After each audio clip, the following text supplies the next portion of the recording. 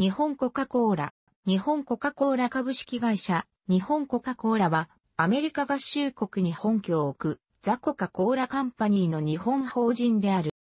主力事業は、コカ・コーラを含む清涼飲料水。日本のコカ・コーラグループの出荷量は、2位のサントリーフーズ、サントリー食品インターナショナルの約2倍で、日本国内の清涼飲料業界では、シェア1位である。2018年6月時点、種類、缶中杯を九州限定で販売している。製造は日本果実工業に委託。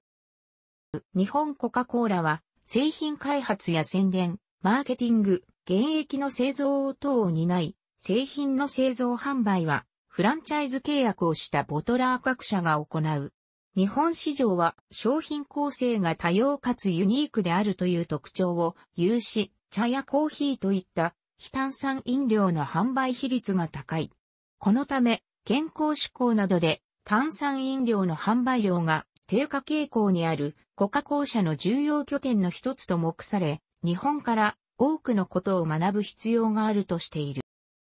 従業員500人程度の企業でありながら、数ある日本企業の中で法人所得金額で毎年30位以内5年連続首位の実績もありに位置する高利益企業でもある。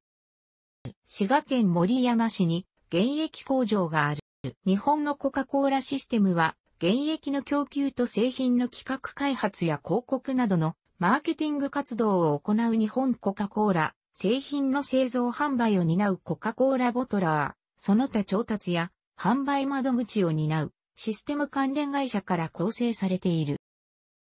コカ・コーラグループは世界各地のボトラーとフランチャイズ契約し、エリアで独占的にボトリング、原液を薄めて瓶等に入れる工程と販売をさせている。コカ・コーラグループとの関係はフランチャイズであり、原則として資本関係はない、消費率で出資していることはある。コカ・コーラの自動販売機は1962年に日本で初めて導入された。当初は小銭を投入後に瓶を固定していたロックが外れ、購入者がそれを引き抜いて商品を取り出す半自動式であった。2006年12月時点で日本全国に98万台ある。マルチマネー対応自販機であれば、飲料の決済方法も現金のほか、各種電子マネーが使用できる。対応している電子マネーは自動販売機の対応状況によって異なるが、交通系電子マネー、 Suica、PASMO、PiTaPa、Kitaca、TOICA、ICOCA、SUGOCA、nimoca、はやかけん、楽天エリ、ID、ワオン、7個が利用可能である。交通系電子マネーに関しては、2013年3月23日からの全国相互利用サービス開始に合わせ、ピタパを除くすべての交通系電子マネーが全国、どこからでも利用できるようになった。もともとは2002年に、クモド、シーモという日本コカ・コーラ独自の電子マネーで展開が始まったが、2008年までに汎用している前出の電子マネーに対応したことに伴い、2011年3月末で全サービスを終了した。また、地震等の影響で緊急避難を余儀なくされた場合、コンピュータの遠隔操作によって利用者に無償で飲料を提供できる災害対策用自販機や自動体外式除再動機 AED を備えた自販機もは街の至るところにあるというメリットを活かし利用者、地域住民に貢献する形である。かつては PHS の基地局として活用された。2011年からはコンツアーボトルをイメージしてデザインされたこれまでの自動販売機とは異なる立体的で曲線を用いた新型標準機 3D ビスを開発、新規や旧型からの入れ替えの他に既存機に後付けパーツを装着して新形式にするレトロフィットという方法もある。3D ビスでは基準となるドア寸法やレイアウトを統一しているため、前述の電子マネーを利用できるようするためのキャッシュレスユニットの装着や上部のトッパーを地域貢献機能の電光掲示板に差し替えることができるなど、オプションパーツを設定し、カスタマーや消費者ニーズによりきめ細かく対応できるようになった。2013年1月からは、富士電機との共同開発で 3D ビスのデザインをベースに冷却用の電力を止めた状態で最長16時間の長間冷却を実現し、消費電力量を大幅に削減できるピークシフト自販機を開発。この自動販売機は世界初となる AR マーカーが組み込まれており、事前にスマートフォンに専用のアプリ、自販機 R をダウンロードし、認識対象箇所、ポーラーベアや製品サンプルなどにかざすことで、それぞれの認識対象箇所に応じたコンテンツが現れる仕組みである。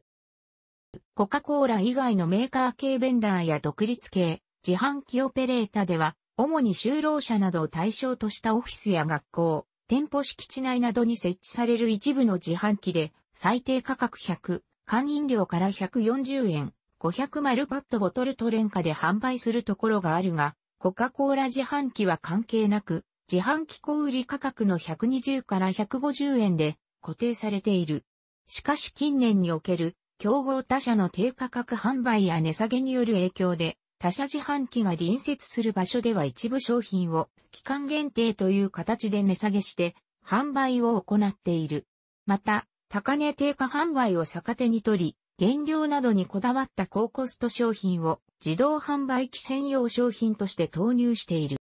地域によって取り扱いが異なるが、おおむね次の商品が販売される。なお、これまでパッケージに記載されていた販売者表記、1990年代中期までは、各地域のボトリング会社を製造元として明記していた1990年代半ばより2000年代初期までは、コカ・コーラナショナルセールス、2000年代初期より2008年11月製造分までは、コカ・コーラナショナルビバレッジとなっていたが、事業再編に伴って2008年12月以降に発売された製品、改良品を含むの販売者はコカ・コーラカスタマーマーケティングに変更されている。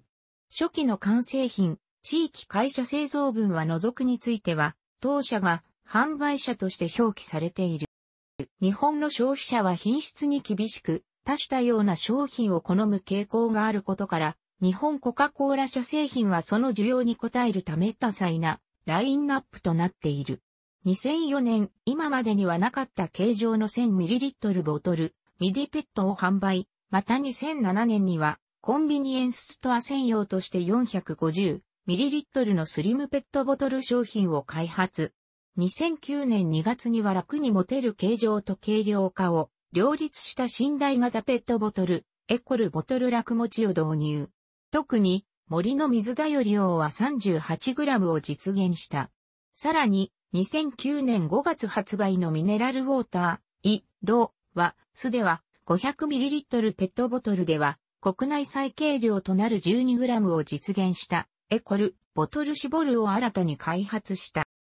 競争の激しい飲料業界だけに短命で消えていった製品や発売時は非常に人気があってもその後終了してしまった製品も数多い。メローイエロー、メローレッド、ハイシー、オレンジ、アップル等の果汁飲料、ハイシーサンフィル、ハイシーをより口当たり良くした製品で、オレンジ、グレープ等、モネ、蜂蜜レモン、蜂蜜梅、タブクリアなど、発売範囲縮小となった商品もあり、ハイ、C シリーズは、紙コップの自販機、飲食店向け 200ml 瓶のみ、販売継続している。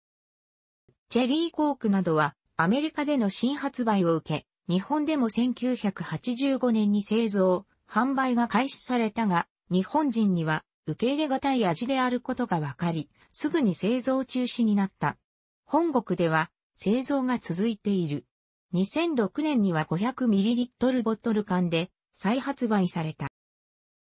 コカ・コーラ C には世界に先駆けて日本で新発売という触れ込みで、発売前より大掛かりなプロモーションが実施されたものの、通常のコカ・コーラとダイエットコカ・コーラの中間とい、セグメントが受け入れられなかったためかこれも短命に終わってしまった。ただし、そのコンセプトは現在のコカ・コーラゼロに受け継がれている。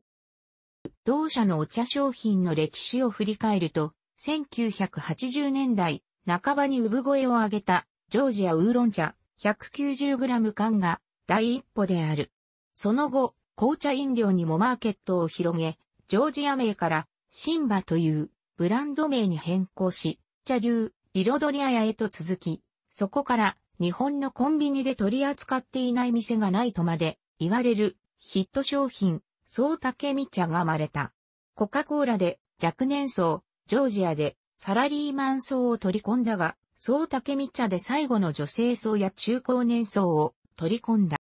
コーヒーについても、ジョージアは古くからのブランドだが、テイスト自体は1980年代後半までは非常に甘いコーヒー飲料で、現在も販売されている 250ml のオリジナル缶と、当時は斬新であった 190ml 缶のブレンドコーヒーのたった2種類と非常にシンプルであった。その後、様々なニーズに対応したテイストが発売されては、販売終了を繰り返している。